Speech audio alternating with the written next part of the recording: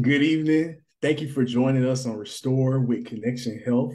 My name is Booker T. Taylor III, and I'm a clinical dietitian at Brookwood Medical Center.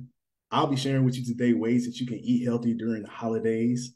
You will have an opportunity to ask questions. Please use the raise hand or type it in the chat. Before we get started, let me tell you a little bit about Restore with Connection Health. If you haven't already joined this group, please do. Through this group, you're able to learn great tips on healthier eating, exercise techniques, and overall ways to help you gain knowledge to become a healthier you and restore with Connection Health. Restore your mindset, educate yourself on healthier routines, stay consistent, thrive, overcome obstacles, refresh your inner self, excel in new way of living. So let me get started. You can just go to the uh, next slide.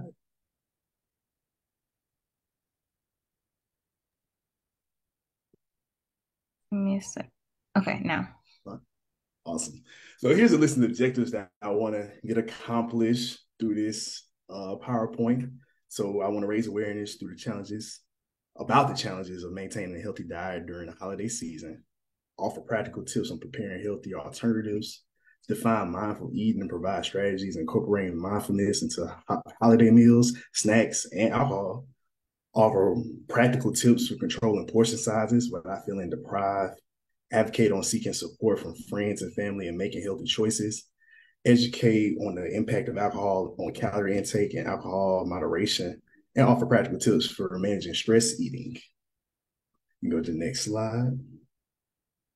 So, right here, before we get into healthy eating tips for the holidays, here's some general basic guidelines I just have for eating in general. So throughout January, February, all the way to December. So here's a list that I updated while I was at my rotation with Cooper Green with one of my favorite preceptors, Miss Ann Hurd. She's amazing.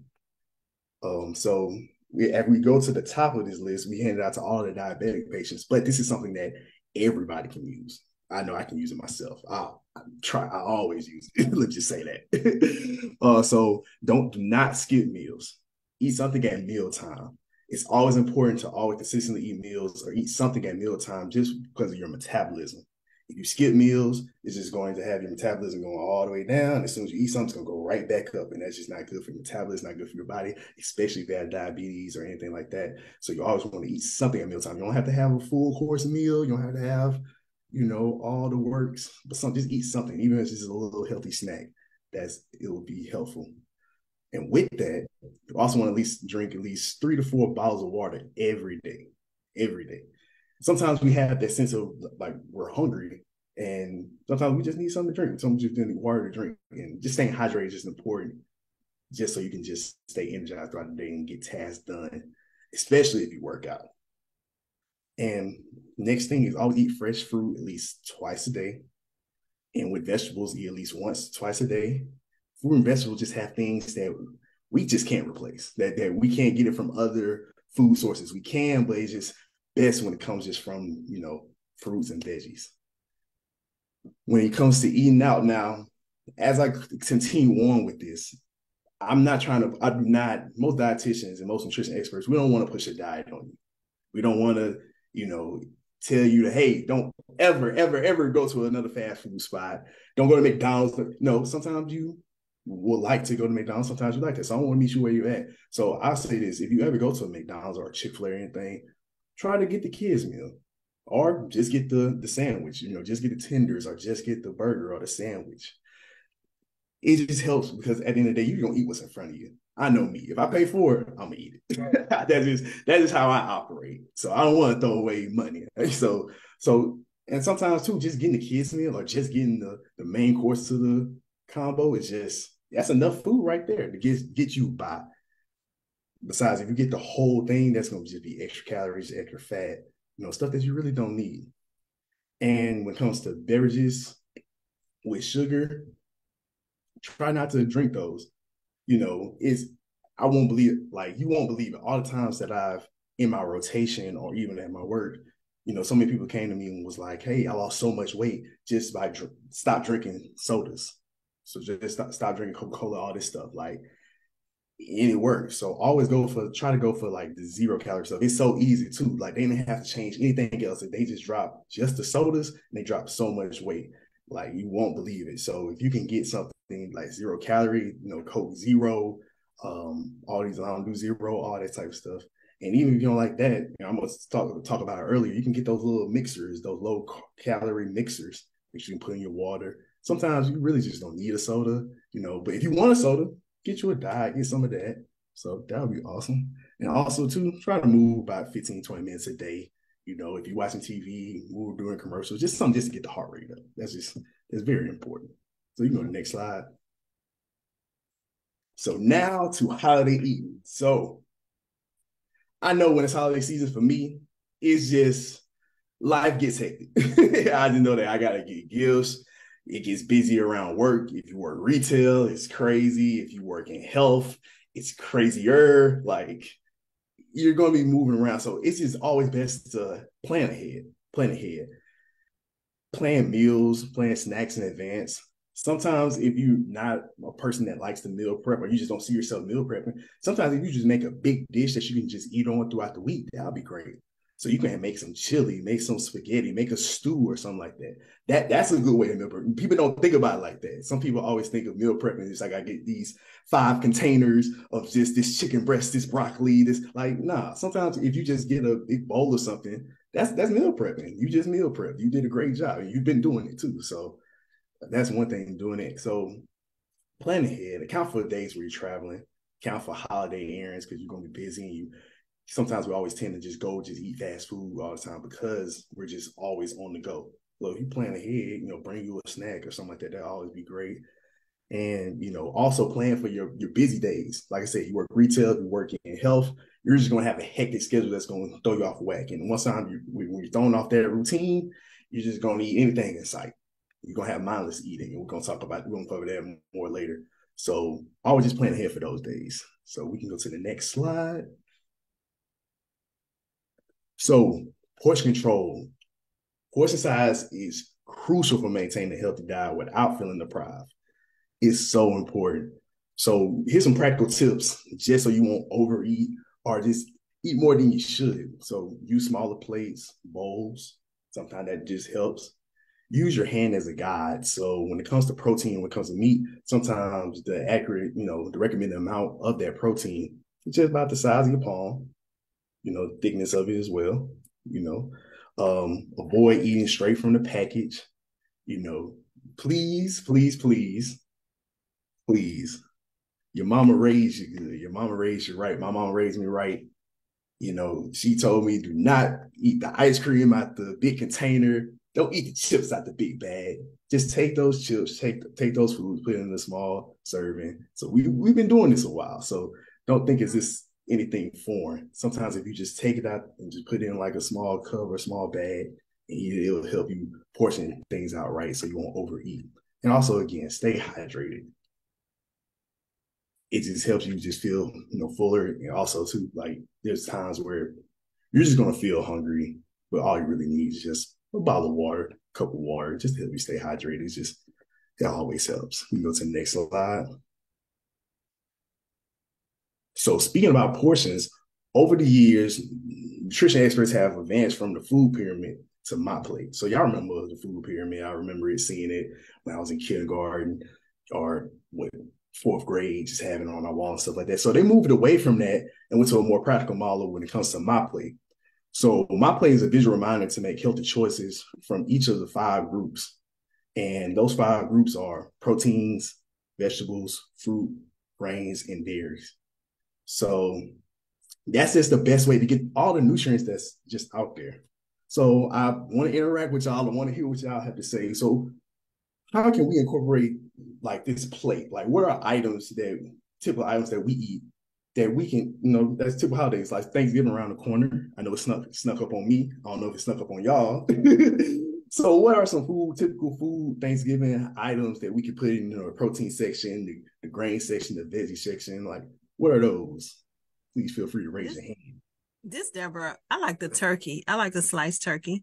Sliced turkey, okay. I like I like turkey too. I like turkey too. I like them fried. Fan recently fried them. I like that. Anybody else? Anybody else? So Somebody in the chat put turkey and ham. okay, yeah. How I'm do you on feel that. about eating those two meats though? Like, is that too It's much? it's okay. Oh, it's perfectly fine. Like I would say, don't overdo it, of course. But again, you can use your hands, like use the palm of your hand. And sometimes I know my family, we cut them thin. So if you, you know, we kind of like we kill it like real thin, like them slice. So if you want to get like one slice, two slices of turkey, two slices of the ham, that's fine. long as it just takes up that one fourth of that plate, you know. And as you see here, I, I'm sorry I didn't even describe it. So you want half your plate, as you see here. Oh, I see someone say grilled chicken, like some grilled chicken. I, I'm actually, I'm not gonna lie to you. I'm I'm always gonna pick chicken over turkey and ham. I know, you know, don't shoot don't shoot the messenger, but that's just me. That's just that's just me. But you want half your plate to be fruits and vegetables. You want one fourth to be protein, and you want one fourth to be grains. So I know when I already imagine my Thanksgiving plate. I already know I'm about to get a little ham. I'm more of a ham person. Like I said, if someone got some fried turkey, I'll, I'll put that there too. But I'll just get one fourth of that my plate just to have, and I might do some small portions. But I'll just grab me a some slices of ham.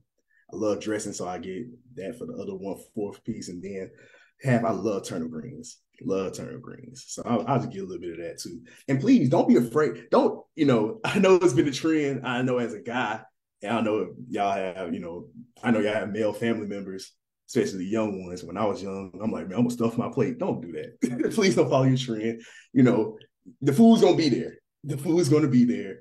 Just get you small portions and work your way up. Mindful eating is so important, so important. So we can go to the next slide.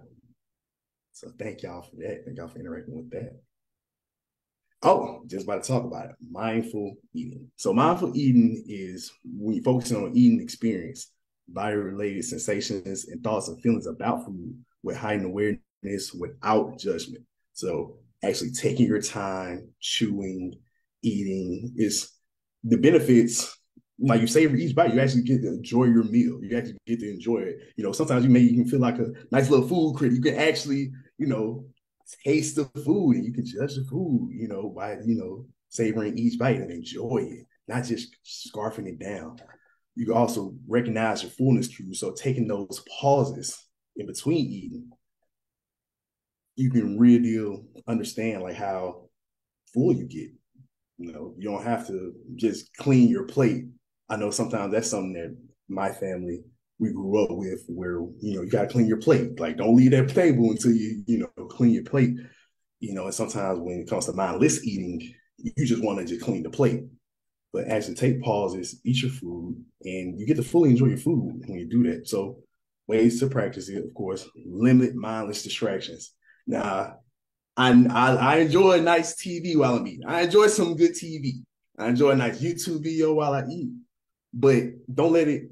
If you know it's a series you dying to watch or it's very eventful, put it on hold. You're gonna watch it anyway. Don't eat it while you're eating because you're gonna be in there. You're gonna be like, oh, ain't no way she did that. I can't believe him. Oh, you just gonna so try to limit mindless distractions. You know, eating with people kind of helps too. Um, pause in between bites. Take your time chewing. So that's ways you can be more mindful about eating. You go to the next slide.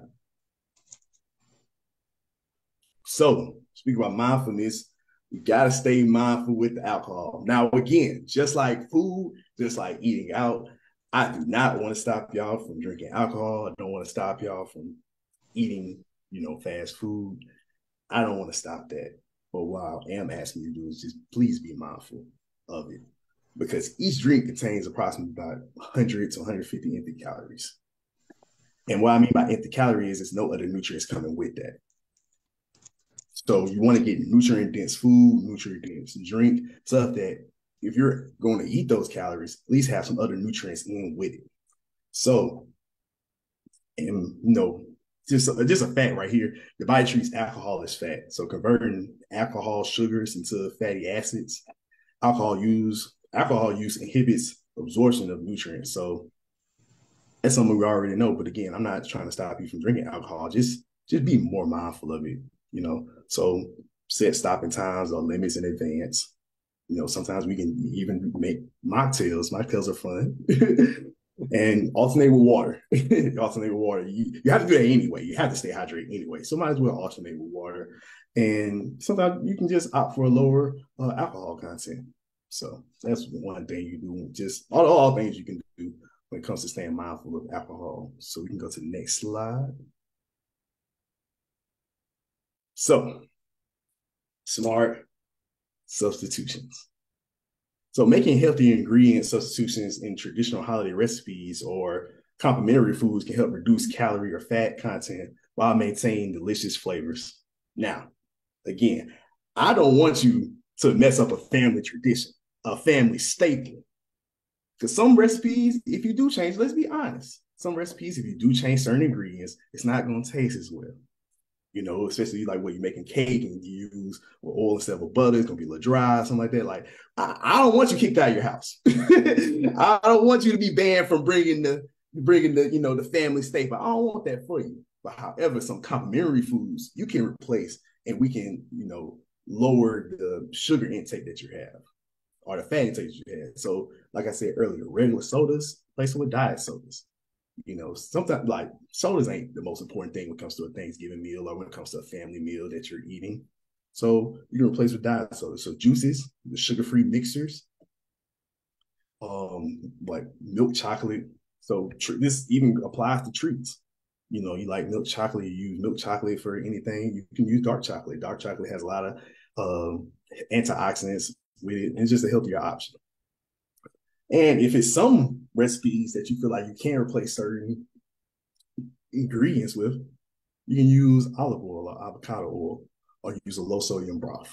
So it's anybody that I'm you know, this is something that's I feel like very important. So I'm gonna ask y'all because this is something that we can all benefit from. So is there any other suggestions? Are there is there any other replacements that you have done um, for holidays that or you do around that healthier substitutions that you make? Anybody? Feel free to raise your hand up chat. Is there any healthy substitutions that you already do? I've always used since I started making greens like five years ago. Um, I use smoked turkey necks instead of. But my grandmother, my big mama, used to use pork, and I don't eat pork. So when I start trying to you know make greens like five years ago, I always use uh, smoked turkey instead of, you know, fattier meat. So, I mean, it tastes great and I like it. And I do use, when I use uh, chicken broth, I use low sodium chicken broth. Awesome. Awesome. Does anybody else? Don't don't share free game. I mean, I mean, don't keep the free game. Share free game. That's how we say it. Any other tips that anybody use that your family use or anything like that? We'll give some time. I know people typed last time. So. Well, um, I started using uh, Mrs. Dash for seasoning um, to alleviate salt um, altogether. And um, even in my broth, um, instead of buying already made broth, I use the broth that comes off my chicken or my turkey or whatever and use it to season like whatever else I need it for. Awesome. That's great. I like that. I like that. My my mom makes a dessert, it's pistachio salad. Um, I think Johnny, my sister, is on the phone. Um, I know she uses everything that she puts in there is sugar free. Um, and it tastes really, really good. And you really wonder, like, you sure this doesn't have any sugar? So she used healthier items um in order to to make it taste great. And and, and what you use to make that? Can can can can you? That, is that a family secret? You don't got you don't got to tell me. You don't got to tell because I, I, I, you don't got to tell. You don't got to. You, you, just just just mention me privately. Me I did figure out what she put in macaroni and cheese, but I can't tell it. oh, okay, okay. See, we ain't trying to do that. I ain't trying to get kicked out again. This is being recorded. Y'all it's, saw it. I don't want y'all. It's, it's sugar free, um, pistachio pudding, um, fat free Cool Whip, um, the pistachio nuts, and I can't remember what else. You remember, Deborah? I'm not the cook in the family, Johnny. You are.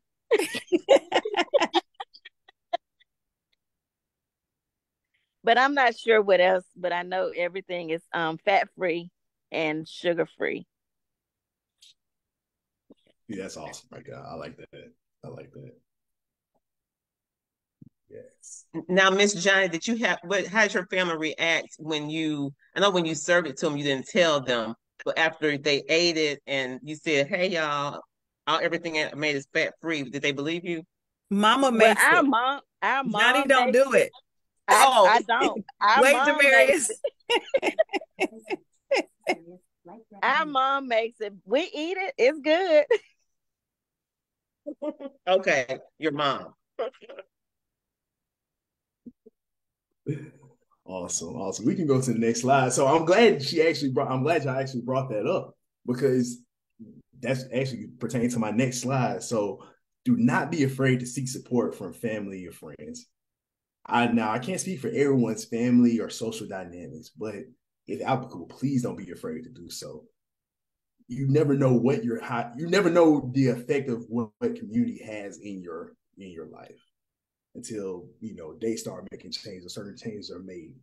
So with your family, you can have an accountability partner. You can just have someone there to be like, hey, sis, or your cousin, your favorite cousin, your siblings, just be like, hey, we're right here. I ain't eating this, you not eating this, and we we're, we're right here. It could be that, or it can just be encouragement. You know, I know most people in our family, some people in our family, we, we kind of look to for encouragement. You know, they're, they're always just, they're bright. They're saying you can be that person. And you know how, you know, or you can be the person that just is really close to the person in your family that provides encouragement. And it's very important, you know, you, like when they say, hey, you're doing a great job or you're doing this, it feels good, you know. So you can be that person or someone can be that person for you. So again, also too, they can also just food items. So I'm gonna brag on my family member. So my cousin, one of my oldest cousins, he's really good at baking. Really good at baking. I'm low key jealous. I, ain't, gonna sound jealous, but but he's he's really nice at baking. He's really good at baking. And you know, some of my family are health conscious. You know, when it comes to cakes and stuff like that, they don't want too much of the icing on it. So he makes a nice red velvet cake with all, all that extra icing, and it's really good. It's really good. I will I will plug him, but I'm on him about using social media. But so I, I, but also too, I don't want to flood it because he said he's done with thank he done with Thanksgiving orders. It might be Christmas orders. So I'll let y'all know. Just hit me up and I, I'll give y'all the link. But however, yes, he makes this amazing red velvet cake without all the icing. So you may have someone in your family that could, you know, be there for you. They can make something, make an adjustment. If you just tell them, you know, don't so don't be afraid. If you just tell them and be like, hey, you know, I'm kind of, I know you typically make this. Could you do something for this and make it for me? Like that would definitely help. And also, some people, if you just let them know, if you let your family know, they can probably provide, you know, some certain foods for you, you know, instead of just making just this one batch for everybody. They could make adjustments for you. So, in that can make a world of difference. That can really encourage you and keep you going on your, you know, healthy journey. So, please don't be afraid to talk to your family. Don't be afraid to seek help from your family. They can provide a huge impact. And speaking of my family, next slide.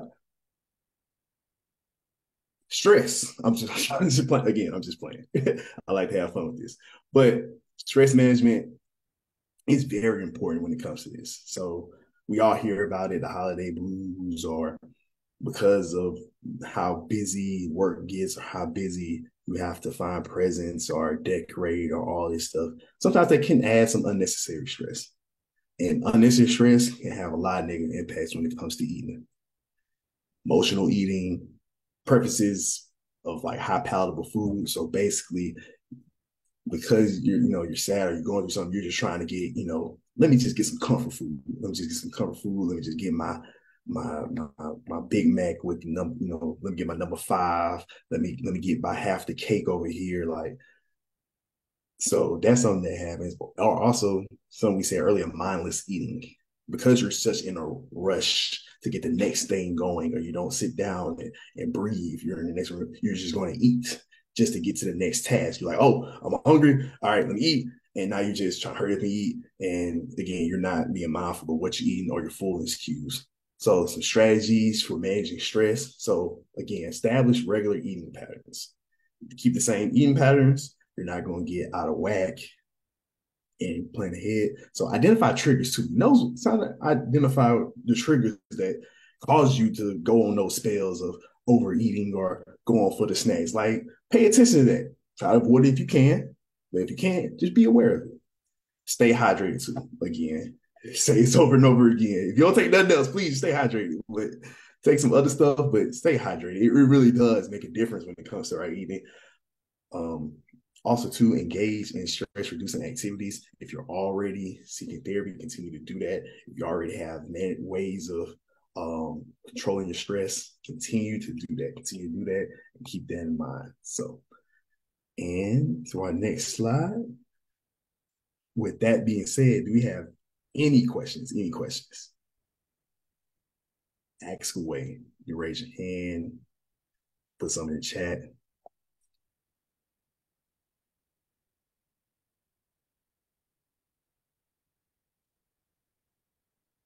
questions? Anybody?